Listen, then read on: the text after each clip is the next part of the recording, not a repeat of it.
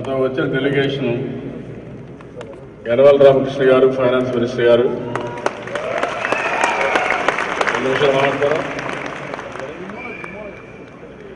పరకాల ప్రభాకర్ గారు communication advisor అదే మరి కృష్ణ కిషోర్ గారు ఈడీబీ సిఇఓ అదే మరి పక్కనే అజయ్ జైన్ సెక్రటరీ ఇండస్ట్రీ అదే మరి ఇన్ఫ్రాస్ట్రక్చర్ అమరావతి రాజధాని కూడా ఆయనే సెక్రటరీ అదే మరి ఇక్కడ సాయి ప్రసాద్ నా సెక్రటరీ ఈరోజే పుట్టాడు. పుట్టినరోజు ఈసారి దళా దళాసులో చేసుకుంటున్నాడు. మీ అందరి అభిమానం మీ ఆశీస్సులు ఆయనకు కావాలి. ఈరోజు పుట్టినరోజు ఇక్కడ చేసుకోవడం ఒక అరుదైన అనుభవం. అదే మరి ఇంకా సరే హై కమిషన్ ఇప్పుడే మీతో మాట్లాడారు. మరొకసారి మీ అందరి ఆశీస్సులు మాకు ఉండాల్సిన అవసరం ఉంది. అందుకే టీం మెంబర్స్ అందరూ కూడా ఒకసారి పరిచయం చేశాను. ఇప్పుడు కూర్చోండి కూర్చోండి. అదే మరిగా ఏంటి కేక్ కట్ చేస్తా ఉన్నారు? కేక్ కట్ చేస్తా ఉన్నారు? చేయలేదా? ఇంకా లేట్ అవుతుంది. ఓకే. ఏంటమ్మా ప్రసాద్.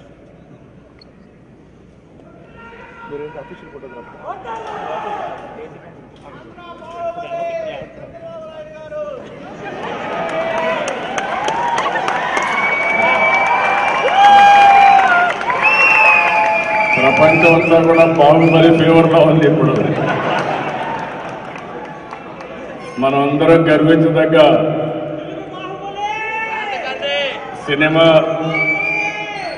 మనవాడు తెలుగు సినిమా తీసి బాహుబలి తీసి తొమ్మిది వేల థియేటర్లు ప్రపంచం మొత్తం ఆడిందంటే అది తెలుగువాడి చరిత్ర తెలుగువారికి ఉండే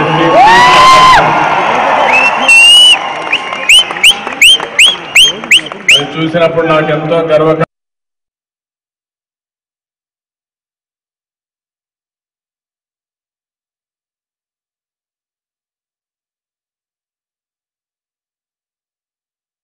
తెలుగు సినిమా చరిత్ర సృష్టించిందంటే మీరందరూ ప్రతి ఒక్క వ్యక్తి ఒక బాహుబలి కావాల్సిన అవసరం ఉందని చెప్పి కూడా మరొకసారి మీ అందరికీ నేను చేస్తున్నా మీ తెలివితేటలు మీకున్నాయి. ఇక్కడైతే బ్రహ్మాండంగా చేయగలిగారు. ఆ స్ఫూర్తిని తీసుకుంటే ఏదైనా చేసే శక్తి సమర్థ్యం ఉన్నాయి అందుకే తమ్ముడు బాహుబలి అంటే నాకు ఆ స్ఫూర్తి జ్ఞాపకం వచ్చింది. అలాంటి స్ఫూర్తితో ముందు వాళ్ళు కోరుకుంటూ ఒక్క నిమిషం.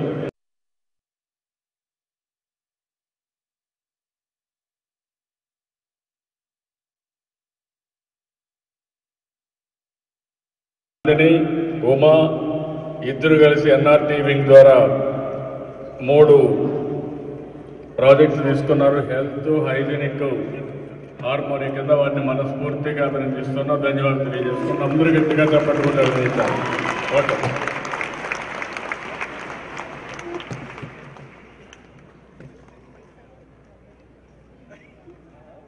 మీరు కూడా హెల్త్ హైజీన్ హార్మోని కింద ఉమెన్ ఎన్ఆర్టీవీ ఉమెన్స్ వింగ్ తయారు చేశారు. మాధవి అదే మరి పద్మజ ఇద్దరు కలిసి ప్రోగ్రామ్ చేశారు. వాటిని కూడా మనస్ఫూర్తిగా మంచి పని చేసి అందరిని అభినందించాలి.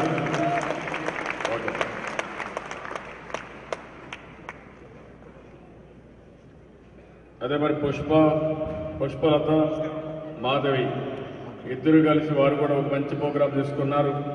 ఉమెన్స్ వింగ్ తరఫున వాటిని కూడా అభినందిస్తున్నారు మనస్ఫూర్తిగా. ఓకేమ్మా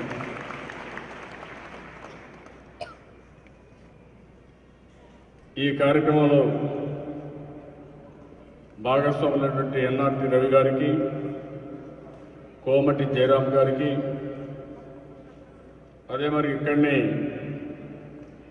మండవ సతీష్ గారికి ఇంకా మిగిలిన నాయకులు చాలామంది ఇక్కడ ఉన్నారు ఈరోజు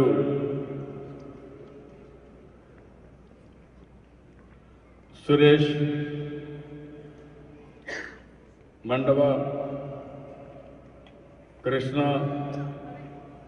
ఇంకొక పక్కన అమర్ సతీష్ ఇంకా చాలామంది పేర్లన్నీ కూడా ఉన్నారు. అందరూ కూడా ఇప్పుడు మేము చూస్తే రెండు వేల ఏడులో ఒకసారి వచ్చాను ఆ రోజు ప్రతిపక్షంలో ఉండి వచ్చాను అపోజిషన్ లీడర్గా. ఆ రోజు మీ ఉత్సాహం చూశాను. ఆ రోజు మీ అభిమానం చూశాను. మళ్ళీ ఈసారి అనుకున్నాను. డల్హౌస్కి నేను రాకపోతే అమెరికాకు వచ్చినట్టు కూడా ఫలితం ఉండదు కాబట్టి తప్పకుండా రావాలనే ఉద్దేశంతో వచ్చాను నేను ఇప్పుడు మీ ఉత్సాహం చూస్తున్నాను. ఎంత అభిమానంగా ఎయిర్పోర్ట్లో దిగినప్పటి నుంచి చూశాను. విజయవాడలో అమరావతిలో కూడా ఇంత అభిమానం ఉండదు. మీరు ఇక్కడికి వచ్చిన తర్వాత అంత అభిమానం పెట్టుకొని ముందుకు వచ్చాను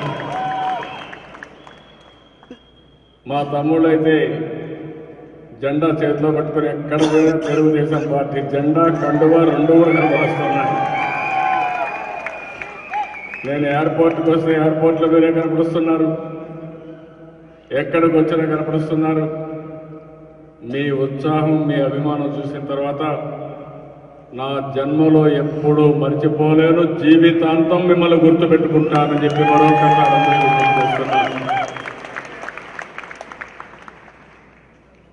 ఈ సందర్భంగా మనం అందరం గుర్తుపెట్టుకోవాల్సిన వ్యక్తి నందమూరి తారక రామారావు గారు.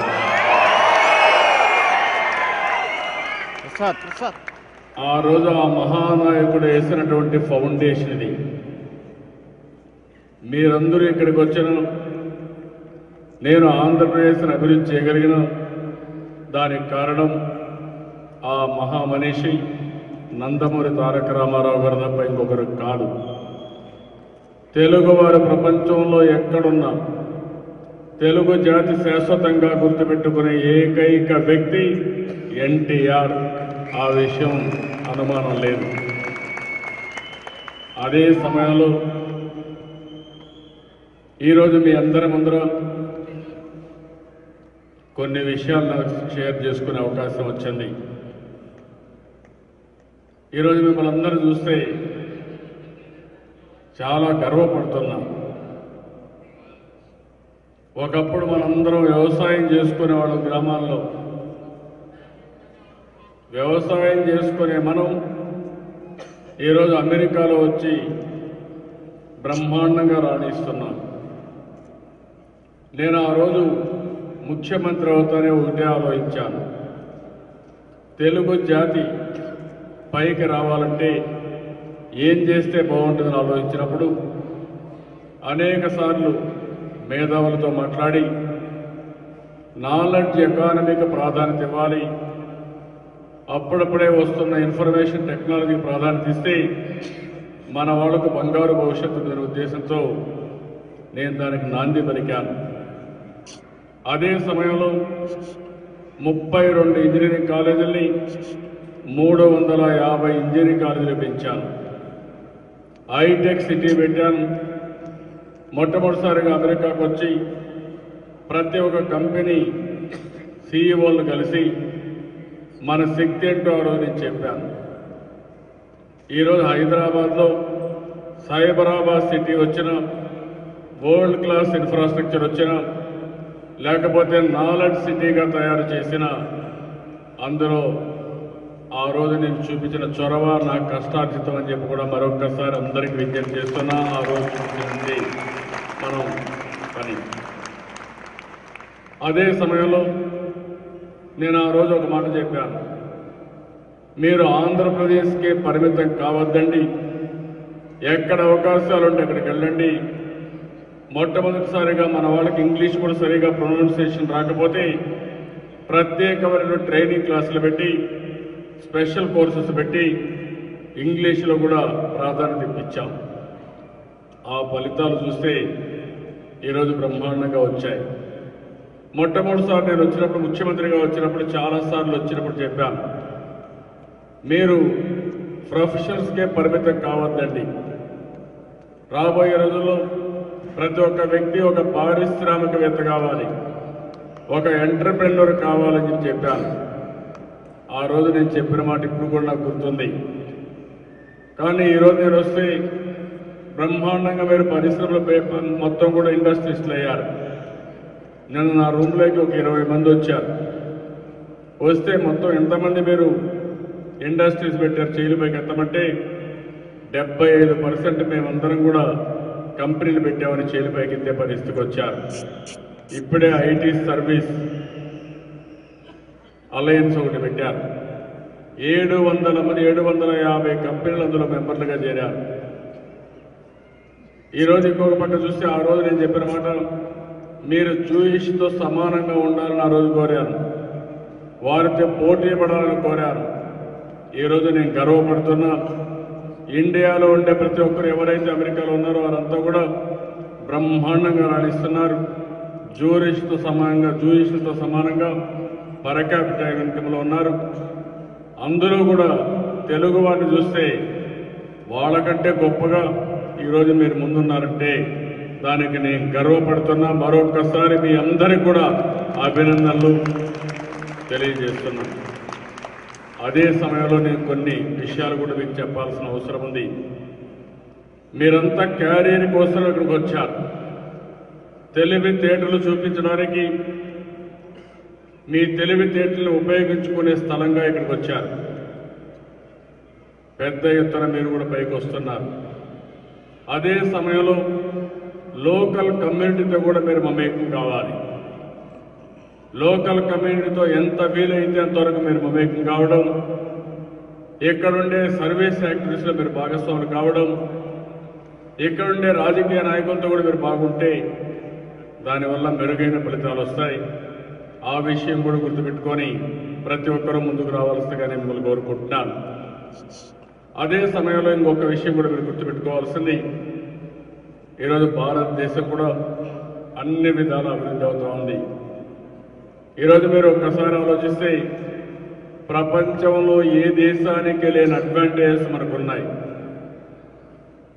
డెమోగ్రఫిక్ డివిడెండ్ యంగ్స్టర్స్ ఎక్కువ ఉండే దేశం ప్రపంచంలో ఒక భారతదేశమే ఈరోజు చాలా దేశాలు ఈరోజు యొక్క ముందుగా ఫ్యామిలీ ప్లానింగ్ పోవడం ముందుగానే అభివృద్ధి కావడం ఇప్పుడు వాళ్ళు చూస్తే ఒక డిసడ్వాంటేజ్ డెమోగ్రఫిక్ డిసడ్వాంటేజ్ వచ్చే పరిస్థితి వచ్చింది.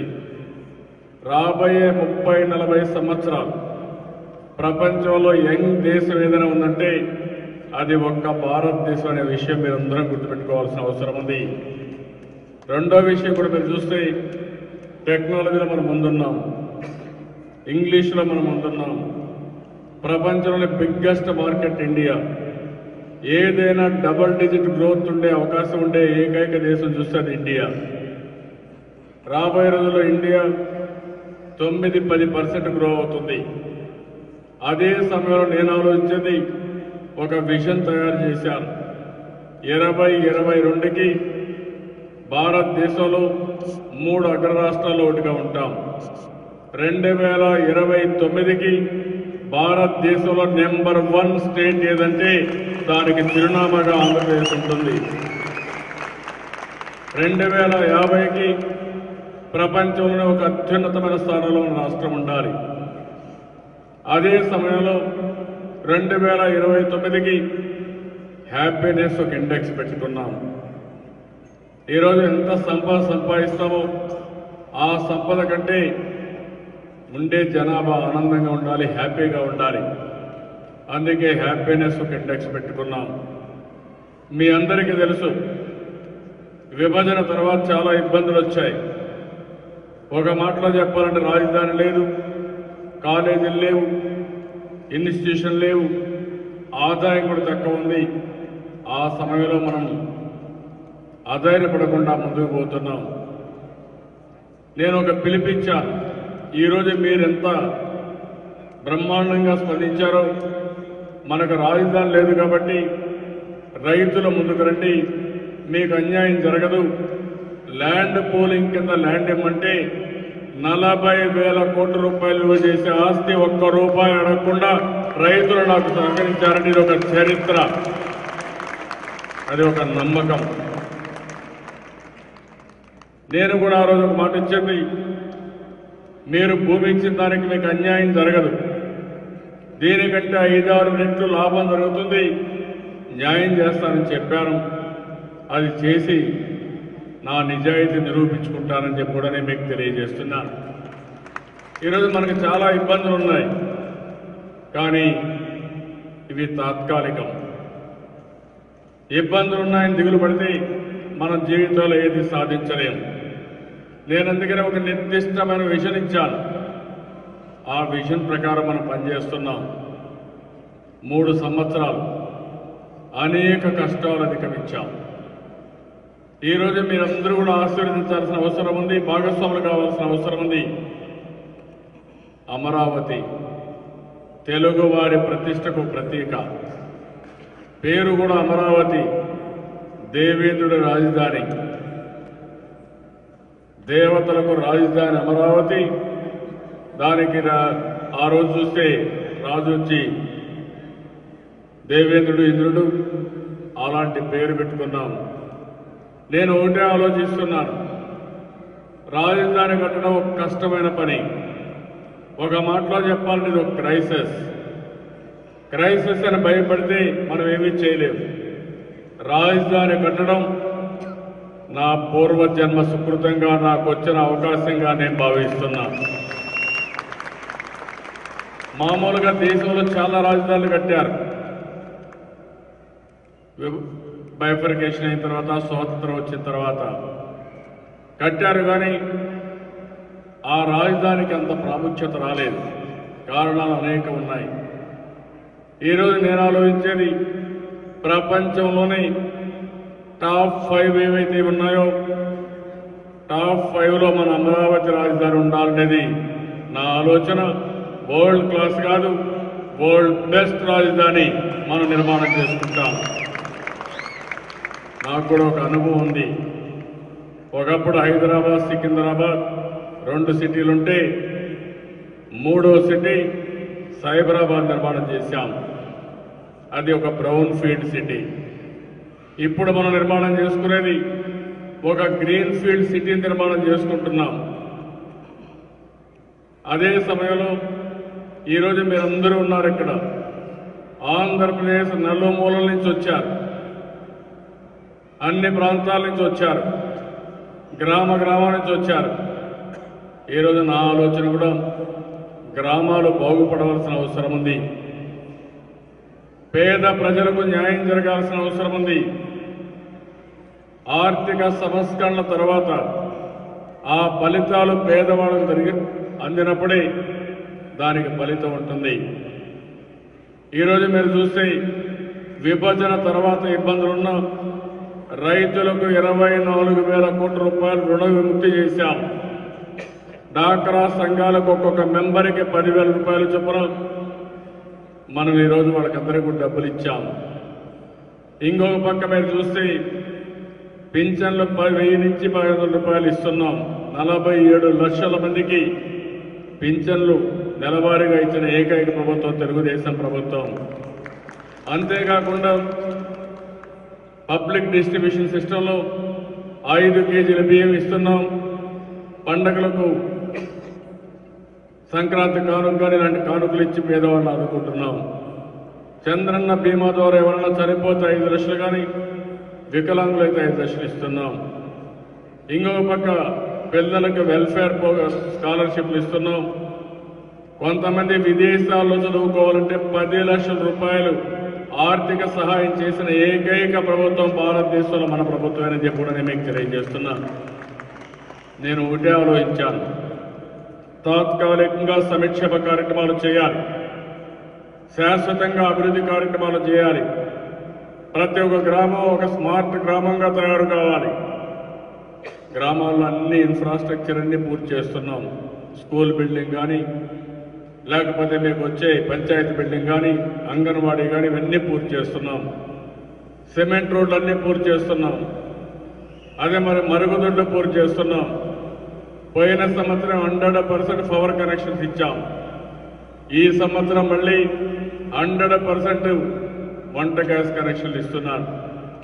రాబోయే సంవత్సరానికి హండ్రెడ్ పర్సెంట్ మరుగుదొడ్లు పూర్తి చేసి ఓడిఎఫ్ గ్రామాలుగా తయారు చేస్తాం.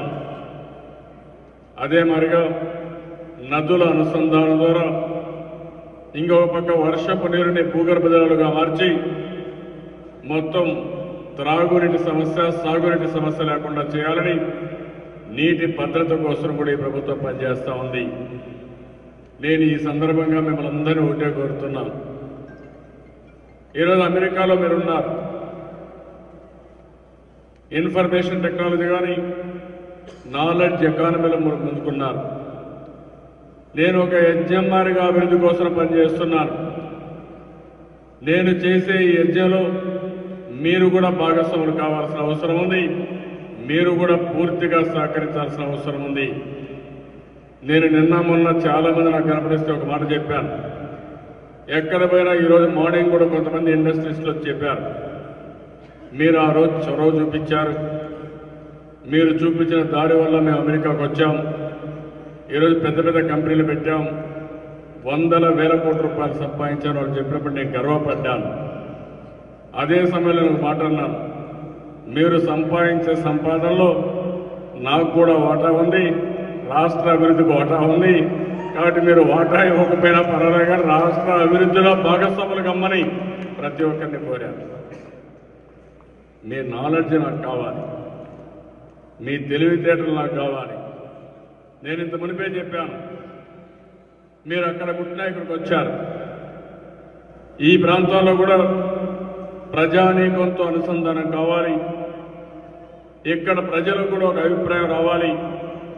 మీ వల్ల వాళ్ళు కూడా లాభం జరిగిందని అభిప్రాయం ఉండాలి తప్ప మీ వల్ల వాళ్ళకి నష్టం వస్తున్న అభిప్రాయం ఉంటే మనకు నష్టం జరుగుతుంది. అదే సమయంలో మన మదర్ల్యాండ్ని మరిచిపోవడానికి వీలు లేదు. మీరు ఎక్కడైతే పుట్టారో ఆ ప్రాంతంతో కనెక్టివిటీ ఎప్పుడు ఉండాలి. అది ఉన్నప్పుడు మీకు కూడా అన్ని విధాలా ఉపయోగపడుతుంది. మనతో పుట్టిన వాళ్ళు చాలామంది మన గ్రామాల్లో ఉన్నారు. ఇంకా పేదరికంలో ఉన్నారు. సమస్యల్లో ఉన్నారు.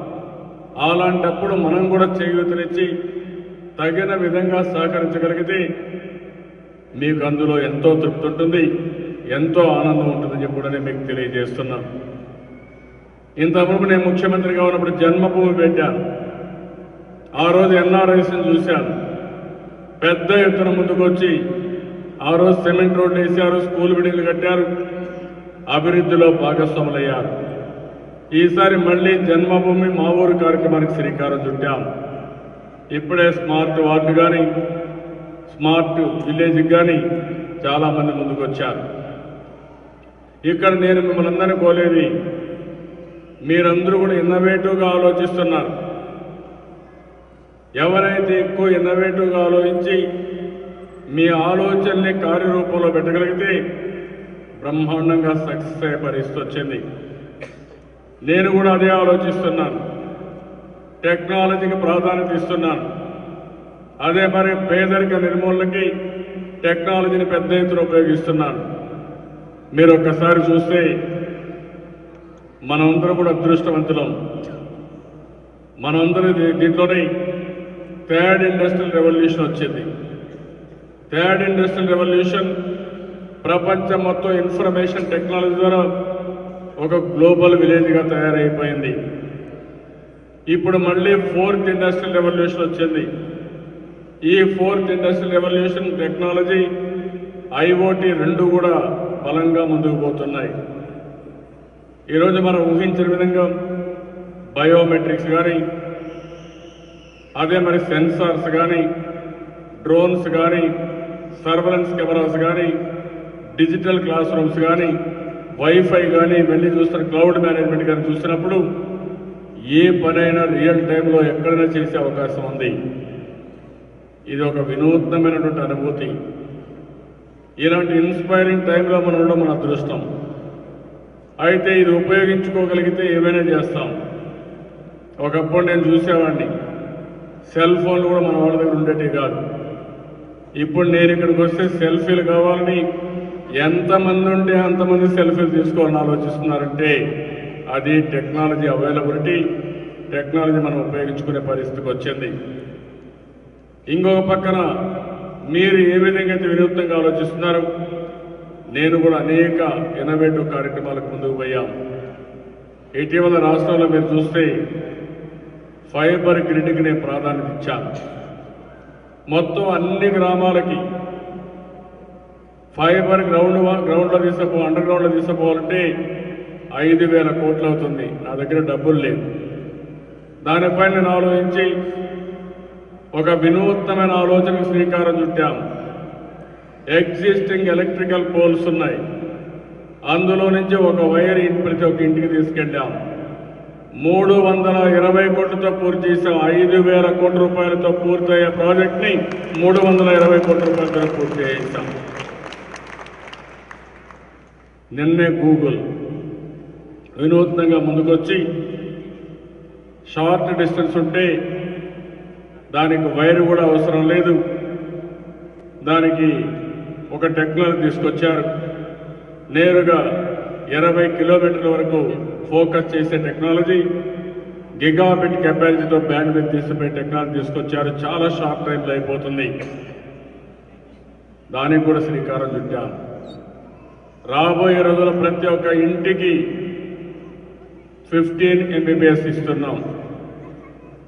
వీడియో ఇంటర్నెట్ అదే మరి మొత్తం ఛానల్స్ మూడు టెలిఫోన్స్ అన్నీ కలిసి నూట నలభై తొమ్మిది రూపాయలకే ఇస్తున్నాం ప్రపంచంలో ఎక్కడా ఇవ్వని విధంగా మనం ఇస్తున్నాం. ఇది వస్తే మీరందరూ మళ్ళీ మీ ఊర్లో వీడియో కాన్ఫరెన్స్ మాట్లాడుకోవచ్చు ఎప్పుడు ఫ్రీగా ఉంటే అప్పుడు మీరు వాళ్ళతో మాట్లాడుకోవచ్చు. వాళ్ళు మీతో మాట్లాడితే నూట నలభై తొమ్మిది రూపాయలకి అయిపోతుంది. అది స్లాబ్ పెట్టాం. ఎలాంటి ఇబ్బంది లేకుండా మాట్లాడుకునే పరిస్థితి వస్తుంది కమ్యూనికేషన్లో. రెండోది మిమ్మల్ని అందరినీ నేను చూస్తున్నాను. మామూలుగా చదువుకున్నారు.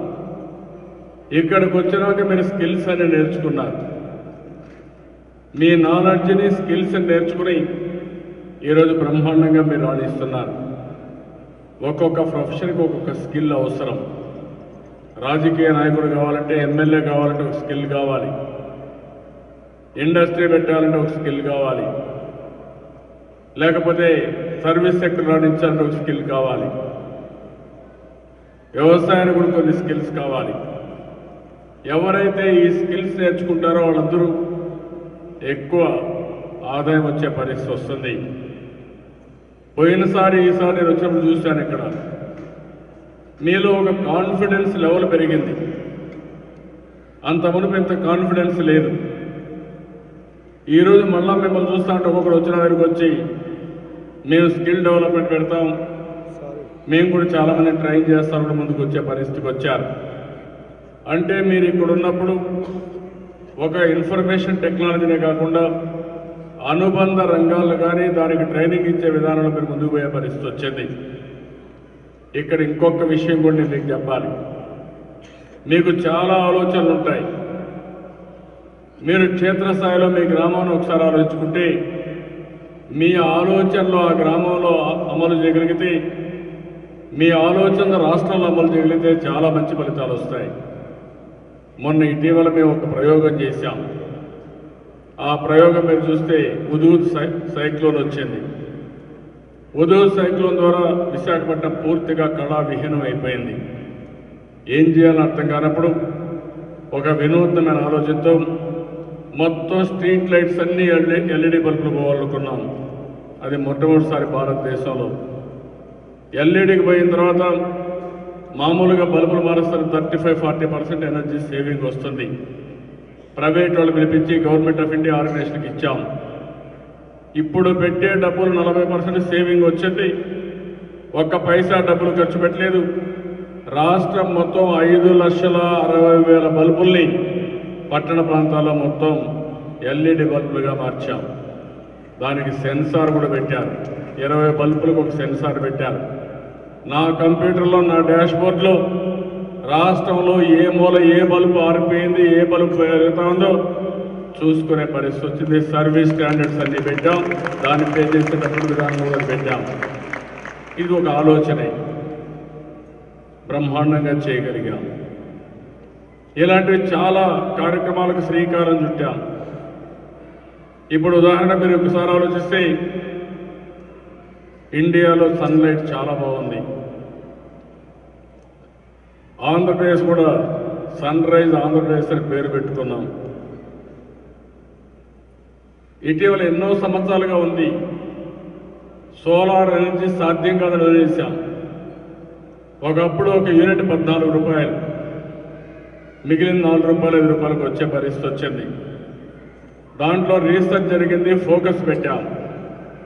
ఈరోజు మీరు చూస్తే నేను మూడు సంవత్సరాల కంటే ముందు ఆరు రూపాయల యాభై పైసలు యూనిట్ రేట్. ఈరోజు కాంపిటీషన్ కానీ స్కేలింగ్ వచ్చేసిన తర్వాత మూడు రూపాయల పదిహేను పైసలకు వచ్చేది.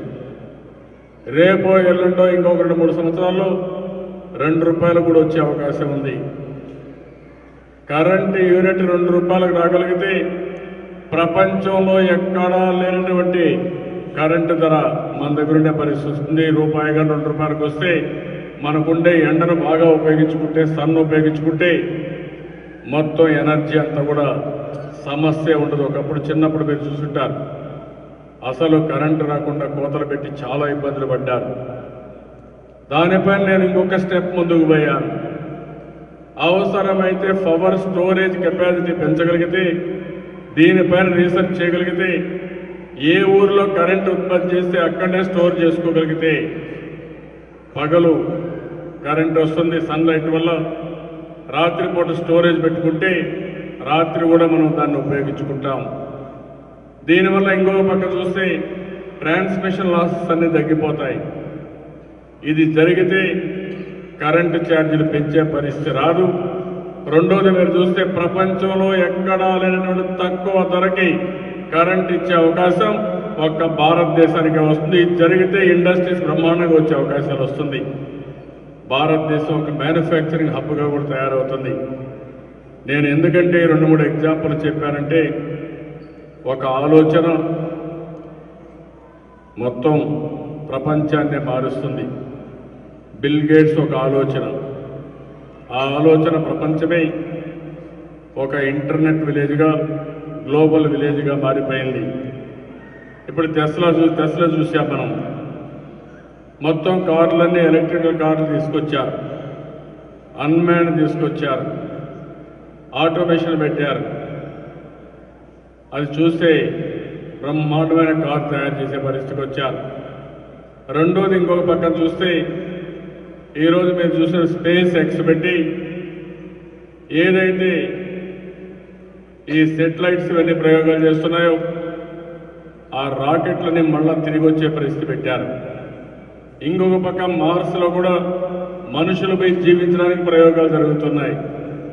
ఇది అసాధ్యమైన కాదు రాబోయే రోజు సాధ్యమయ్యే పరిస్థితి వస్తుంది. ఈరోజు ఇది చూసిన తర్వాత మన రాష్ట్రంలో కూడా హండ్రెడ్ పర్సెంట్ ఎలక్ట్రికల్ కార్స్ రావాలని ముందుకు పోతున్నాం. రాబోయే ఐదు పది సంవత్సరాలు నాకు ఏమాత్రం మనం లేదు. పొల్యూషన్ కంట్రోల్ చేస్తాం. హండ్రెడ్ పర్సెంట్ అన్ని వెహికల్స్ కూడా ఎలక్ట్రికల్ వెహికల్స్గా కన్వర్ట్ చేస్తున్నామని చెప్పి కూడా నేను మీకు తెలియజేస్తున్నాను అదే మరి గూగుల్ మనం చూసాం. టెక్నాలజీ ఏం చేశారు అవన్నీ మనం ప్రయోగాలు చూసాం. నేను ఈ కొండే మిమ్మల్ని అందరినీ కోరేది మీ ఆలోచనలు రాష్ట్ర ప్రభుత్వంతో కూడా షేర్ చేయండి. మీ గ్రామాన్ని అభివృద్ధి చేయడానికి కూడా ఉపయోగించండి. అదే మరి ఆలోచనలు కూడా మీరు పెద్ద పెద్ద ఆలోచనలు కూడా చేయాలి. ప్రపంచంలో ఏది కూడా అసాధ్యం లేదు. ఏదైనా సాధ్యం ఆ విషయం మీరు గుర్తుపెట్టుకోవాల్సిన అవసరం ఉంది. రెండోది కష్టపడి పనిచేయడం కూడా నేర్చుకోవాలి. ఈరోజు అమెరికాలో ఉండే మీరందరూ కూడా మీరు చూసినప్పుడు ఒక స్టేజ్కి రీచ్ అయ్యారు. ఇక్కడి నుంచి నెక్స్ట్ స్టేజ్కి మీరు ముందుకు పోవాల్సిన అవసరం ఉంది.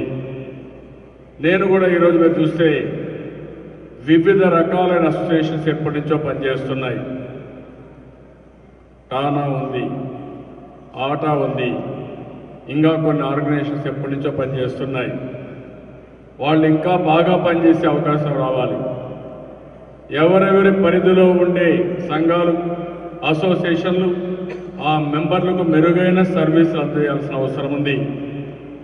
ఈరోజు ప్రభుత్వం కూడా ఇండియాలో ఏ ప్రభుత్వం చొరవ తీసుకోలేదు. నేను చొరవ తీసుకొని నాన్ రెసిడెంట్ తెలుగు కోసం ఒక ఆర్గనైజేషన్ పెట్టాను.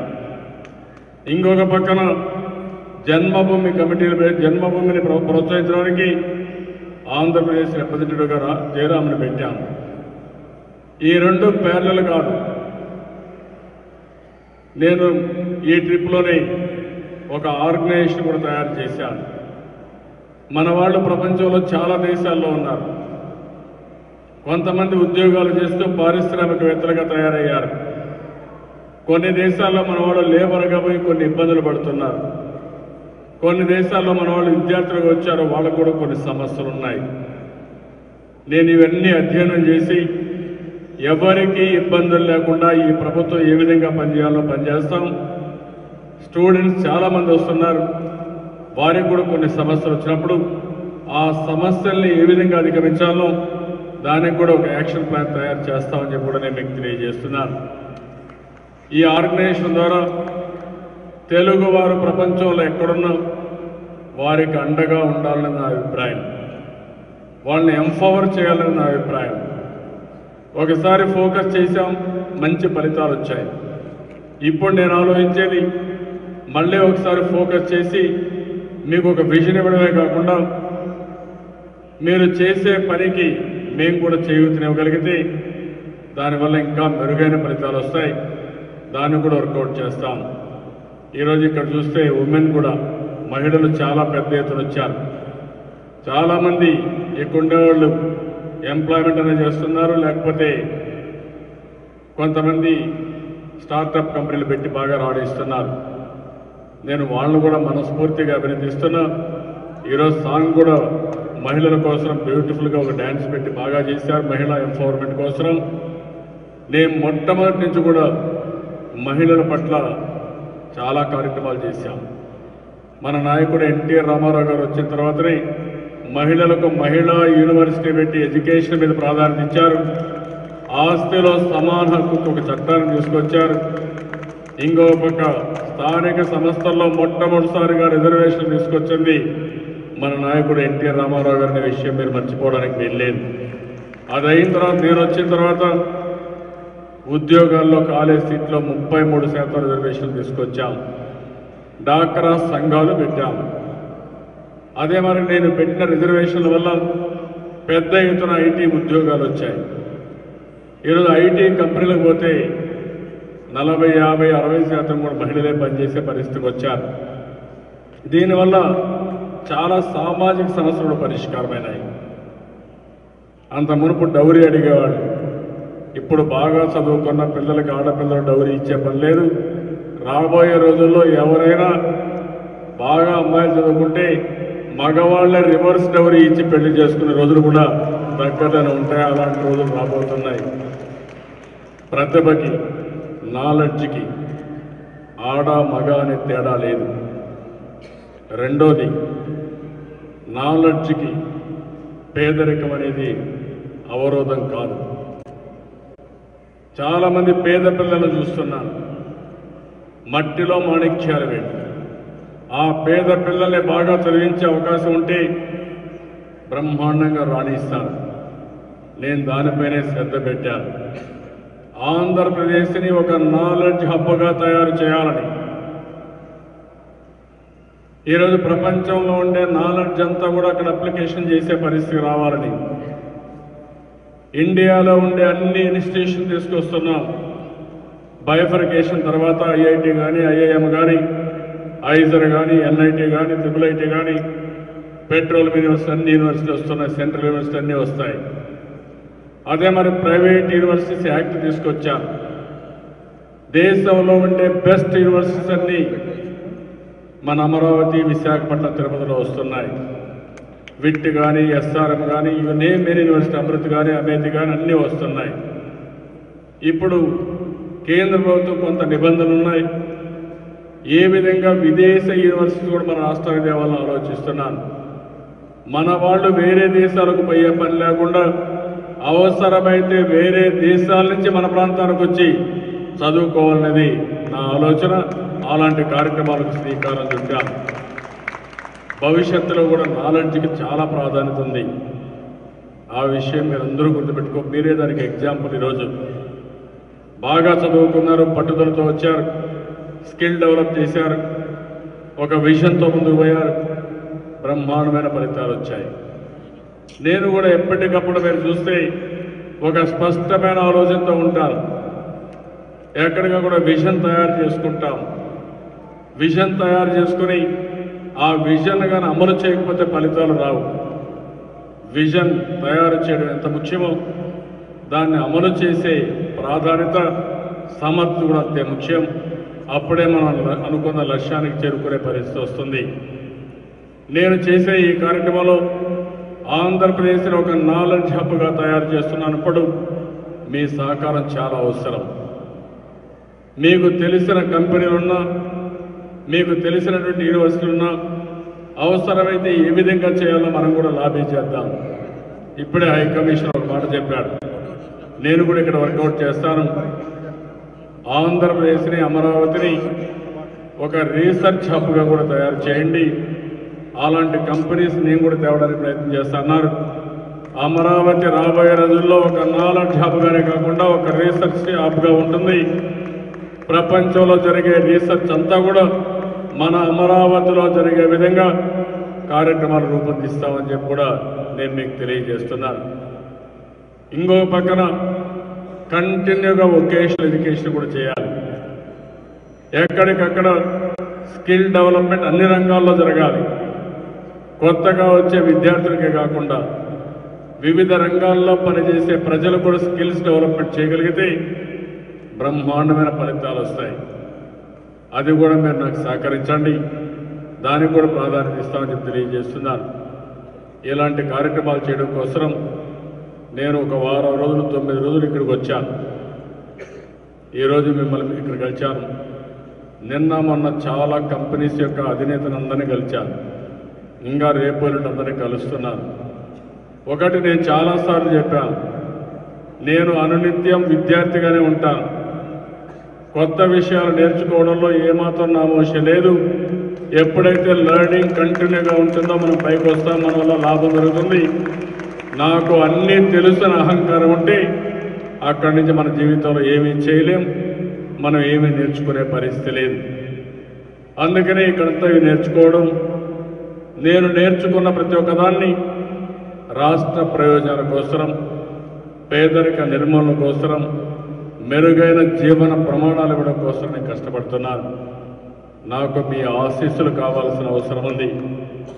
మీరు ఎన్ఆర్ఐస్గా ఇక్కడున్నా మీ ఆశీస్సులు ఎప్పుడు శ్రీరామ రక్ష భవిష్యత్తులో కూడా మీరు కూడా యాక్టివ్గా ఉండాలి. మీ అందరికి కూడా ఓట్లు ఉన్నాయి ఆ విషయం మీరు గుర్తుపెట్టుకోవాల్సిన అవసరం ఉంది.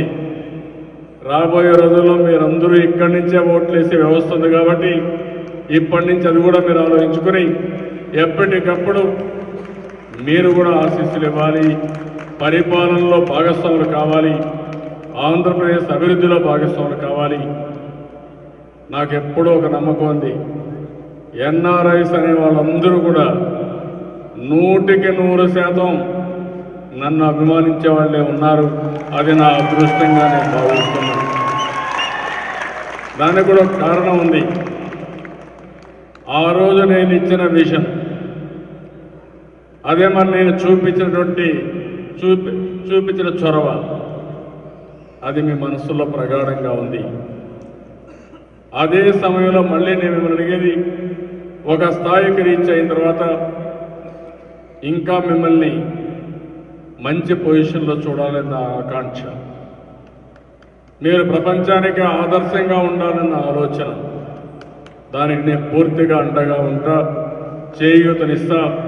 తెలుగు జాతి ప్రపంచానికి ఆదర్శంగా ఉండే విధంగా ప్రతి ఒక్కరు కూడా మన విషయం బాగా చేస్తున్నారు. శభాష్ అనే విధంగా మాట్లాడే విధంగా మనం చేయాల్సిన అవసరం ఉంది. దానికి మీరు కృషి చేయండి.